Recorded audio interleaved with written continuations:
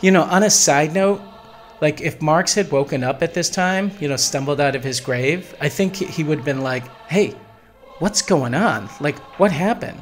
Did you guys read my books? Like, uh, how is it that the only two Marxist nations in the world haven't industrialized or haven't gone through capitalism or socialism? What's going on here?"